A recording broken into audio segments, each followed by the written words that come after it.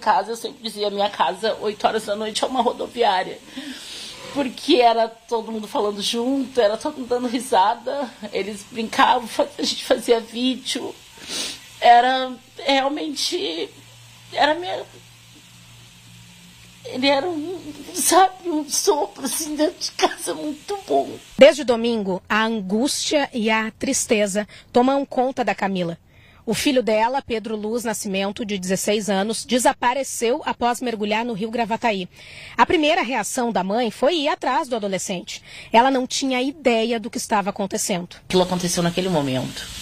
Então saímos todos correndo daqui e fomos para Canoas no intuito de resgatar ele, de achar ele. Nós saímos daqui com o intuito de achar o Pedro, que o Pedro estava perdido nesse mato, o Pedro estava segurando em algum galho.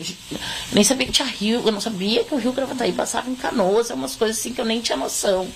Um vídeo do momento que Pedro entrou no rio começou a circular na internet. Camila fez um post em uma rede social implorando que a imagem seja retirada. A última imagem que tem dele, então eu não quero.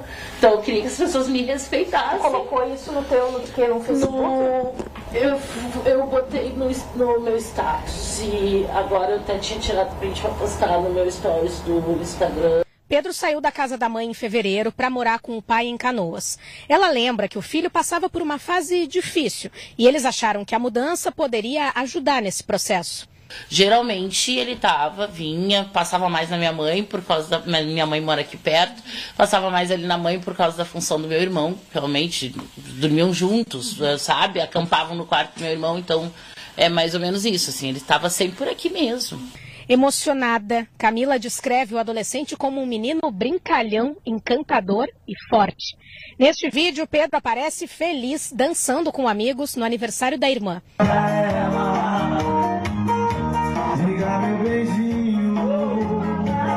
Casa, eu sempre dizia, minha casa, 8 horas da noite, é uma rodoviária. Porque era todo mundo falando junto, era todo mundo dando risada, eles brincavam, a gente fazia vídeo era realmente. Era minha. Ele era um, sabe, um sopro assim dentro de casa muito bom. O Pedro e os amigos pularam mais ou menos a 600 metros daqui onde a gente está agora. Já são três dias de buscas. O que tem dificultado o trabalho do Corpo de Bombeiros é a correnteza e a quantidade de entulhos e de galhos que tem aqui no rio. O tenente-coronel do Corpo de Bombeiros Monteiro, ele está aqui comigo para explicar um pouquinho mais como esse trabalho funciona, porque tem várias questões além da correnteza, além dos entulhos, tem a extensão do rio também, né, coronel? Exato. O, o, rio ele tem esse canal no meio do. É, o rio Gravataí, ele tem esse canal no meio do, do rio, uh, cerca de 6 a 7 metros. As laterais, assim que entra, tem em torno de 2 a 3 metros. Né? A correnteza é bem, bem forte. Né? Uh, as nossas equipes de mergulhos, a gente está fazendo busca superficial e mergulho a gente consegue, a, partir das nossas, uh, cobrir uma área de cerca de 10 metros quadrados a cada meia hora, em função das condições do, do rio. Uh, o fundo é lodo, mas tem muita vegetação, muito lixo, entulho, pneu, resto de vegetação, uh, enfim, material de construção.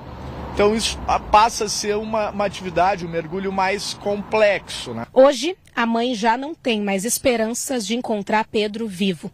Em meio a tanta dor, o único desejo dela é conseguir se despedir do filho. Quando ele nasceu, fui eu que limpei, fui eu que vesti, e eu quero poder limpar meu filho, eu quero poder vestir meu filho. E, e eu quero que ele tenha tudo, né? E que ele consiga descansar em paz, porque ele e, e que achem porque ele não merece, a gente não merece, entendeu? Uh, e ele principalmente não merece. Hoje, infelizmente, é o dia do aniversário do pai dele, então é uma tristeza isso. A gente, mas a gente está rezando para que encontre, mas eu sei que é muito triste isso.